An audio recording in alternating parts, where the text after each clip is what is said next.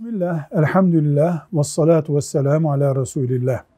Peygamber Efendimizin sünnetlerinden birisi de tuvalete ihtiyaç görmek için girildiğinde, tuvalet olan bölgeye girildiğinde şu duayı okumaktır.